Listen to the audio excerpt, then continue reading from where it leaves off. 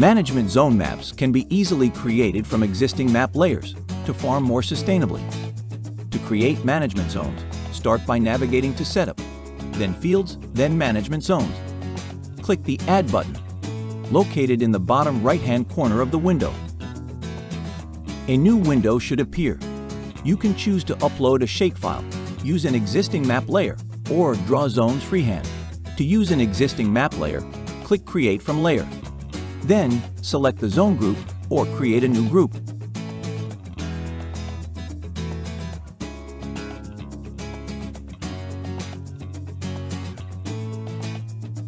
Select the method that the map will be generated in. You can choose Auto, which will automatically create zones based on how many zones you wish to have. Custom Breaks, which allows you to choose polygons on the map to assign to zones, or Layer Breaks, which will allow you to choose multiple map layers as assigned zones to each layer.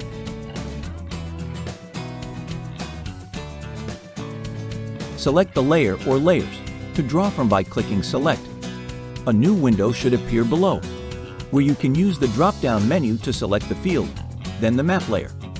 You can narrow the search by choosing from the filters for map type, season, or crop. Select your preferred layers and click OK.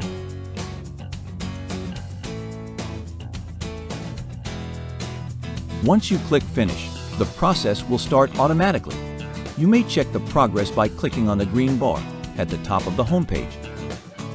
After processing, the new map will be added to the Management Zones list.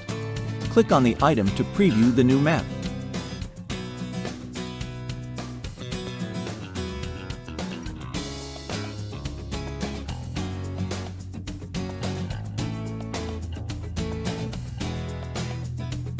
The new map can be changed to combine or merge zones.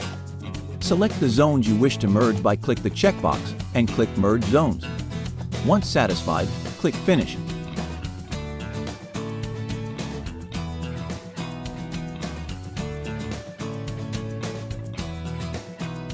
The new map is now ready to add a prescription.